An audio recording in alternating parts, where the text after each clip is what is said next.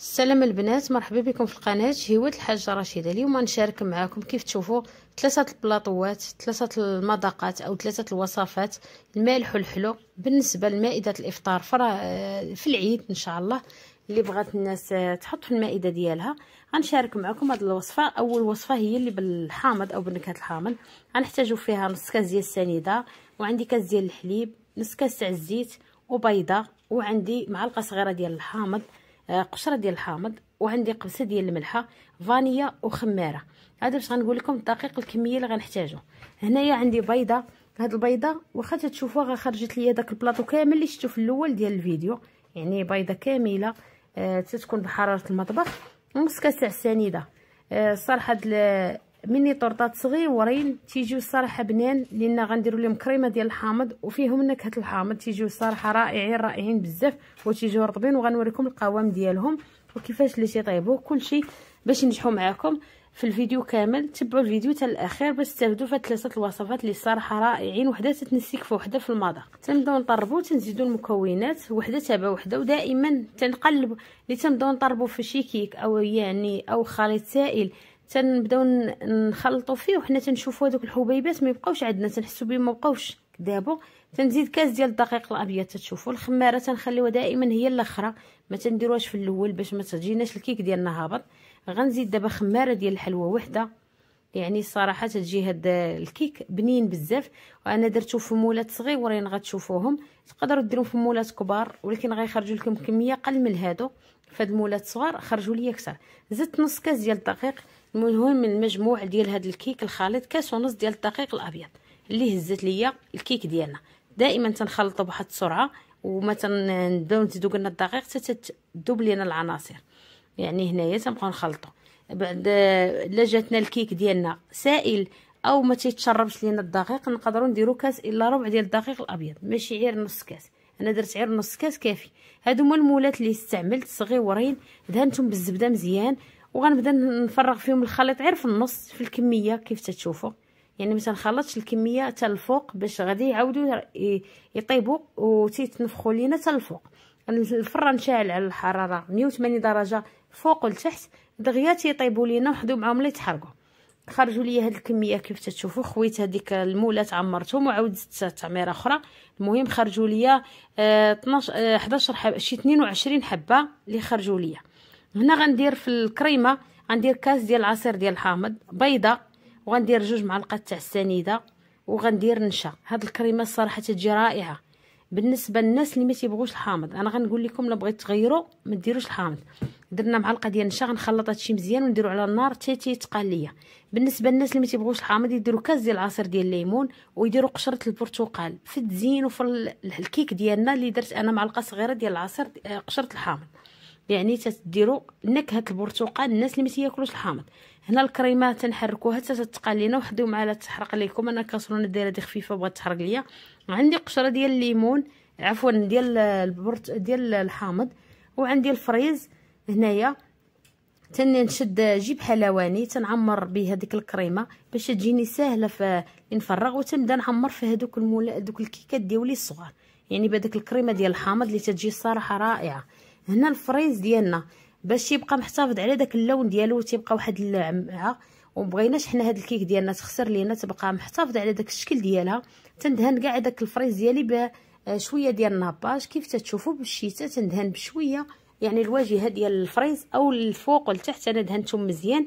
علاش غنستفهم؟ تيبقى ديك اللمعة في ال fraise ديالنا. أي ديسر درنا فيه الناباج يبقى محتفظ على داك الشكل ديالو. وهنايا غنقرب لكم الكاميرا كيف تشوفوا. غنحط واحد القشيرات ديال الحامض وغنزين ببذور ديال الخشخاش أو بافو. هذا هو الشكل النهائي ديال هذا الشكل اللي رائع رائع. وقلت لكم اللي ما تاكلش الحامض ديرها بالليمون يعني نفس الطريقة غير تغيروا الحامض بالليمون. هنايا غنزينهم كاملين بحال هكا. وغنوريكم الشكل النهائي كيف جا هذاك البلاطو تيشهي الصراحة البنات. الناس اللي تيعجبوهم حلوات بالكريمات تنقترح لكم هاد الحلوة اللي تستعملوها أو ديروها في فترة مائدة الإفطار في العيد إن شاء الله. وتتجي الصراحة كمية كثيرة. يعني الناس اللي تيبغوا شي حاجة اللي تخرج لهم كثيرة وتتكون اقتصاديه يعني ما فيهاش واحد المقادير اللي كثار يعني تقدر يكون عندنا كلهم في البيت. هنايا كيف تشوفوا استفت البلاطو ديالنا. اللي تيجي صراحة رائع وغندوزو للوصفة الثانية هذا هو الشكل النهائي اللي تيجي صراحة رائع بين الصفر وبين الأحمر وهذيك القشرة وبافو تتجي رائعة رائعة. وندوزو للوصفة الثانية اللي غندوزو للوصفة الثانية بالنسبة للثانية غتكون عندنا كيك مالح. عند عندي جزرة كبيرة محكوكة عندي الطون مسقطر بدون زيت البصلة والفلفلة خضراء وحمراء شوية شوية مشحرين كي تشوفوا شوية الزويته مع مليحة. عندي الزيتون خضر مقطع الأسود مقطع وعندي ثلاثة البيضات والكورنيشو. عندي مقطع طريفات عندي معلقة ديال الزعتر صلصة طماطم معلقة ديال التحميرة نص كاس ديال الحليب ياغور طبيعي وعندي بودرة الثوم بودرة البصل الملحة وبزار وعندي الجبن المبشور واحد جوج معلقات كبار وعندي خمارة ديال الحلوى و180 غرام ديال الدقيق الأبيض. هنايا ثلاثة البيضات كيف تشوفوا بحرارة المطبخ. وهنايا غنديروا السوائل هما الأولين غنديروا الحليب والبيض. نبداو نخلطوا فيه مزيان. حتى تيتقاد لينا هذاك البيض مع الحليب. أول حاجة تنديروها هما السوائل ومن بعد تنزيدوا آه نقولوا العطرية باش تذوب لينا وتتشد لينا بلاصتها. ما تبقاش لينا بلاصة ما مخلطاش وبلاصة مخلطة. تندير ياغور طبيعي. تنبدا نخلط هذا الكيك الصراحة راه تيجي بنين بنين وتيجي رائع وتيجي مفشفش. غتشوفوا القوام ديالو. تبعوا الفيديو حتى الآخر. القوام ديالو غنشاركو معكم كيف اللي تيجي ناجح وتيجي بنين صراحة بهاد الحشوة. صافي تنخلطوا دانون تنبداو نزيدو هنايا في التوابل تندير واحد القريصة ديال الملحة ما تنكثرش لينا عندنا الطون مالح وعندنا الزيتون خضر وكحل وعندنا ال cornichon حتى هو وصلصه مطيشة يعني كلهم هادو فيهم الملحة. غندير نص معلقة ديال الإبزار معلقة ديال التحميرة كيف تتشوفوا؟ معلقة ديال الزعتر. أنا تنحاول نعاود لكم المقادير لا تكون شي حاجة نقصتها أو شي حاجة ما انتبهتوش ليها نص معلقة ديال بودرة البصل ونص معلقة ديال بودرة الثوم هنايا بالنسبة لبودرة البصل والثوم راه تعطي واحد النكهة اللي زوينة البنات حاولوا ديروها بالنسبة اللي ما عندهمش عندهم غير نكهة وحدة يقدروا يديروها غير هي راه تعطي واحد الرائحة زوينة في الوصفة ديالنا. هنا عندي الدقيق الأبيض 180 غرام ديال الدقيق الأبيض يعني تقريبا واحد كاس ونص ديال العنبة. يعني غير هنايا الخليط راه تيكون ثقيل تماما غتشوفوا هنا زدت خمارة ديال الحلوى. غنخلينا الطون خلينا البصلة خلينا الجزر هذوك هما الأخرين. حتى تنطربوا مزيان. عاد باش نخدموا بواحد المعلقة باش يدخلوا العناصر الأخرين. هنايا كيف تشوفوا سبقنا غير التوابل والسوائل والدقيق والخميرة ديال الحلوى صافي تنخلطوا مزيان. كيف تشوفوا الخليط قد ما كان هو ثقيل هذاك النواشف اللي درنا حنا فيه تيجي يعني شادين بلايصهم ما تيهبطليشنا في القاع ديال الكاب كيك ديالنا ما تيجيوش غير لتحت. الا كانت العجينة جارية اللي تنديروا فيها أي قرقاع أو أي حاجة مالحة راه تهبط لينا داكشي لتحت. كيف تتشوفوا شوخ هبط ديك الحشوات وهي العجينة عندي ثقيلة ما هبطش داكشي لتحت. دابا يا باقا ما هبطوش درت هنا داك البصلة والفلفلة درت الجزر ال cornichon الزيتون الكحل والخضر الطون والفرماج مبشور. هنايا وغنبدا نخلط في هذاك الخليط ديالنا كامل مزيان يندمج لينا العناصر مع الكيك ديالنا.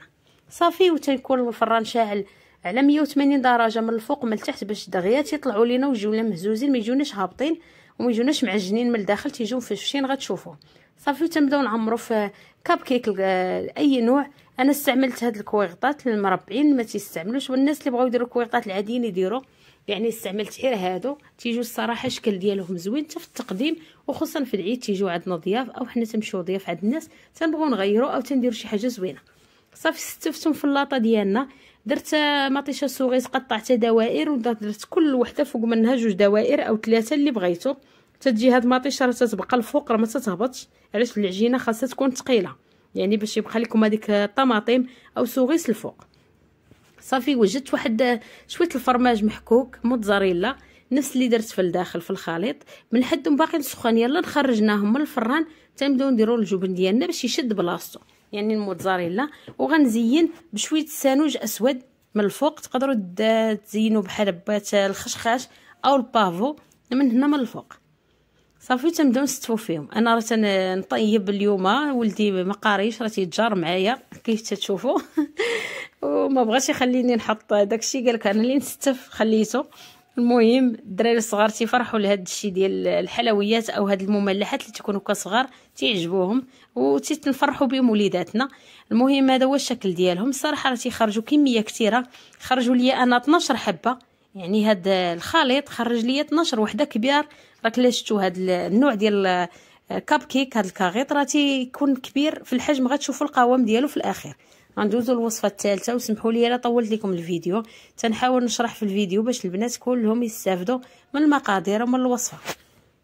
غندوزو للبسبوسة اللي تجي رائعة عندي كاس إلا ربع ديال الزيت نباتية نص كاس ديال الحليب ياغورت طبيعي وعندي قبصه ديال الملحة وعندي جوج كيسان ديال السميدة الرقيقة وعندي البنات واحد المعلقة أو جوج معالق ديال العصير ديال الحامض قشرة ديال الحامض وجوج بيضات وعندي جوج خمارات ديال الحلوى وفانيا وبالنسبة للدقيق الأبيض عندي جوج معلقات كبار ديال الدقيق الأبيض. كيف تتشوفوا؟ محطوط. هنايا هرست دوك جوج بيضات اللي غنستعملوهم. دائما البيض تيكون بحراره المطبخ وغنبداو نديرو في المكونات. بالنسبة للملحة تنديروها راه تتحيد لينا ديك البسولة ديال الحلاوة لأن واخا تنديرو السنيدة ضروري تنبغيو نديرو آه سميتها آه هذا النوع ديال آه هذا النوع ديال الملحة في الوصفة ديالنا. صافي تنبداو نخلطو بحال هكا تنزيدو الحليب. لا لاحظتوا البنات أنا ما حاطه السنيدة. غتقولوا لي علاش؟ لأن غنسقيو البسبوسة ديالنا. ما تنبغوش نديرو السنيدة. صافي تنبداو نخلطو يعني تنبداو نديرو في الاضافات ديالنا. وتنبداو نخلطو حتى تذوب لينا هذيك الملحة التوابل ديالنا أو أي عناصر خلطناهم. بغيتو تنجح معكم خاصكم ضروري ديروا صافي تنخلط بحال هكايا الفاني تنخلط كلشي تيبقاو لي غير النواشف هما الأخرين. تنبقاو نزيدو بالحاجة بالحاجة وحنا تنخلطو. هنايا ما درتش أنايا آه الخميرة هي الأخرى عاد باش نديروها. صافي تنزيدو الدقيق الأبيض كيف تتشوفوا تنبقاو نخلطو.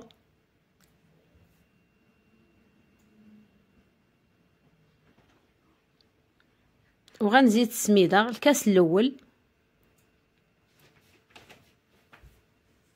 ومن ومن بعد راه زدت الكاس يعني غنزيد الخميرة. عاد باش نزيدو السميدة الاخرى دائما الخميرة تنخليوها هي الأخرى. بالنسبة هنا الخميرة درت غير باكية ونص. راه ما درت جوج باكيات. باكية ونص كافية في هذا الخليط. ديال الخليط ديالنا باش ما يفيضوش لينا هذوك المولات ديالنا. من بعد تنزيد الكاس الثاني ديال السميدة. تنخليه هو الأخر. ودائما السميدة تنبداو نزيدو وتنشوفوا العبار لا تنشف لينا. أما هنايا أنا هاد البسبوسه فايتة دايرها عارفة العبار ديالها؟ تبداو تزيدوا في الكاس الثاني بشوية بشوية. ومن بعد زدت هذيك المايلقه ديال العصير ديال الحامض.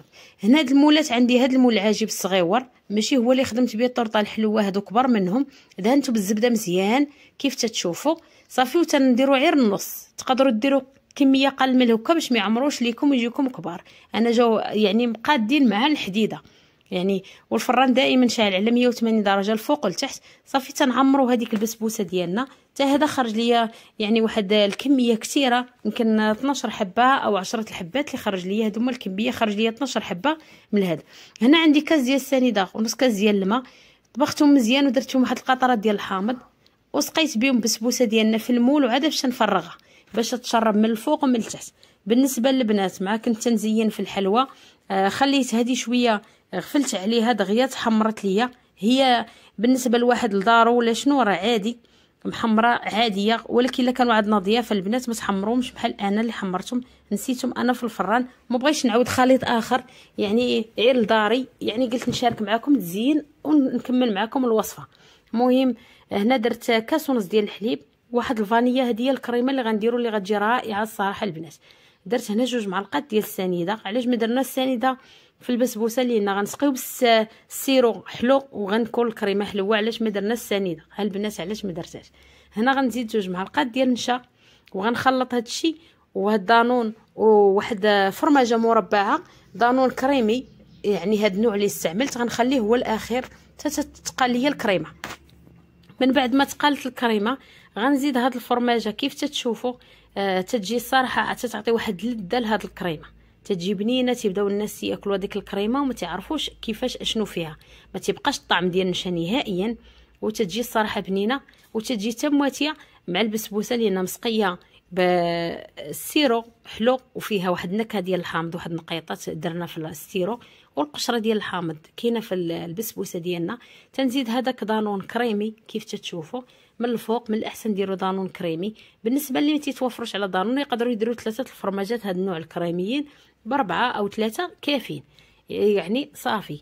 هنايا تنشد جيب حلواني تنفرغ فيه الكريمة من حد باقا دافيه لأن ضروري خاصكم تخدموا بالكريمة لا ديال الحامض لا هاد الكريمة تكون باقا سخونة باش ما ديرش لينا آه واحد آه قشرة أو تتولي جامدة ما تتعطيناش داك الشكل اللي ملمس أو مل آه تيبري. وتتبع لينا يعني ال moule ديالنا تجينا دغيا سهله صافي هزيت هذوك البسبوسات اللي صايبت وغنبدا نزين فيهم بهذيك الكريمة اللي تجي صراحة رائعة بحال هكا. تنعمر القوالب ديالنا. هذا هو الشكل الثالث اللي باقي فيه تزيين غنزينو غير بواحد التزيين اللي هو بسيط ولكن تيجي الصراحه رائع وتا المذاق وغنوريكم حتى القوام. أنا شديت واحد شوية ديال ال pistache هرمشتو باش يجي باين وزينت به تقدروا تزينوا بأي حاجة عندكم. أو تخليهم غير بحال هكا. صافي زينتهم بال pistache وزينتهم بالورد البلدي. يعني عادي زينتهم من الوسط عطى واحد المنيظر اللي زوين. هذا هو الشكل النهائي اللي آه البسبوسه ديالنا. كيف اش جات رائعة الصراحة. واخا حمرتها شي شوية ولكن راه جات بنينة وجات فنة. وهذا هما القوام ديال الكيك ديالنا. المالح اللي طاب شوف كي جا جا مفشفش. وجات هذاك الحشوه لداخل شادة بلاصة شوفوا تتلقاوها هنا هنا هنا ماشي غير في القاع والقاع ما واصل ليه حتى حاجة. وبالنسبة للكيك ديالنا اللي فيه الحامض كي جا والبسبسة ديالنا حتى هي رطيبة وتتفرتت مع مشربة. ونتمنى تعجبكم هاد الوصفات ومرحبا بكم في القناة شهوه الحاجة رشيدة. بارطاجيو الفيديو مع اصدقاء باي باي.